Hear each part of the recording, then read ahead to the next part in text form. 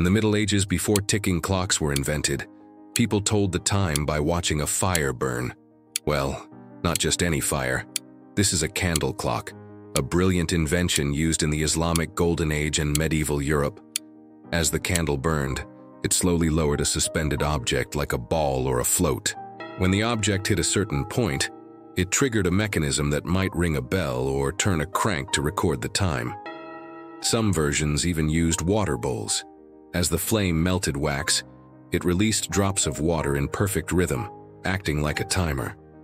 These candle clocks were invented sometime before the 8th century in the Middle East and were brought to Europe by merchants and travelers. They were used widely across the continent, from the courts of kings to the homes of nobles. And engineers like Al-Jazari in the 12th century documented them, describing how to make them and how to improve them.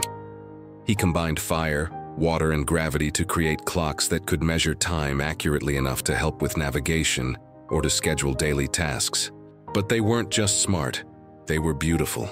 Some clocks had automata, music, and moving figures, all powered by the steady drip of melting wax. The candle clock was a masterpiece of medieval ingenuity, a testament to the human desire to understand and control the world around us. It was also a clock run by a candle. Do you like the candle clock? Then you'll love Medieval Deep Dive. From the very first eyeglasses to the Black Death, each episode is packed with fascinating facts and insights about life in the Middle Ages. It's the perfect way to learn about one of history's most misunderstood eras. And you can watch it anywhere, anytime. So why wait? Start exploring the past today.